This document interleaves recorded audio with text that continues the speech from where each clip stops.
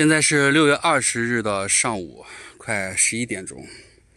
我们在棚子里面给大家看一下一款鱼和熊掌可以兼得的草莓。看现在的草莓啊，也是大量的来花，花枝刚出来。那我们看看它笼里面，不光是有花，笼里面还有大量的匍匐茎。这是草莓的植株，长到这么大，蜜蜂在给它授粉。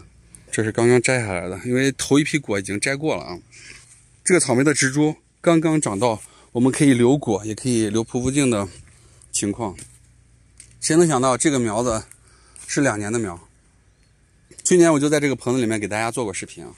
这是到了冬天，全部地上部分被冻死、冻坏之后，到了春天，我们重新又把苗子梳理一下之后，苗子长起来的样子。从这里面能看到，这就是老苗，根系在这个位置扎了很深。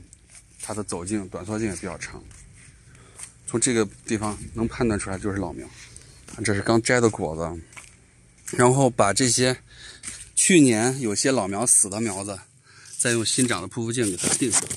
那么同时我们留了花，也留了匍匐茎。从这点上来看，蒙特瑞这款草莓它的植株长势是非常强劲的，同时留花留走茎也跟得上，果子也都比较大。另外。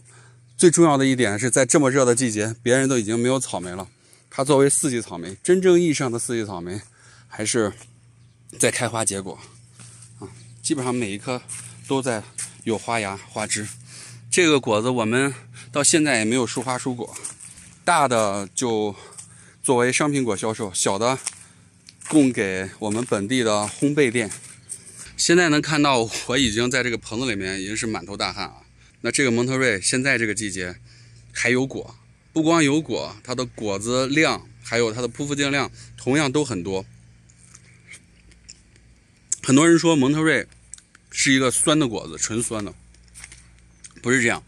蒙特瑞如果在温差比较大的时候，它的甜度能达到十六，你敢信吗？因为我们去年在直播间里面给大家现场测的就有。很偶尔啊，一般它是在九到十三个糖度。这个产品一般是用在烘焙，呃，果蔬、果干、蜜饯、果酱之类来用的。但是很多朋友在比较高温的时候也想种自己的草莓，包括夏季炎热、高温高湿容易得病的时候，这个草莓品种完全适合你。特别是新手种一些草莓容易病死、容易炭疽病、各种的疾病，这一款蒙特瑞的品种。它是高抗病的，你看，在我们这个棚子里面，高温高湿的情况下，它得炭疽病的概率是非常小的。这就是夏天我们没有太多别的草莓品种来展示，蒙特瑞是持续的供果这样的一个品种。如果喜欢草莓，如果喜欢种草莓，请关注跟草莓死磕到底的手艺人飞宇。今天的视频就到这儿。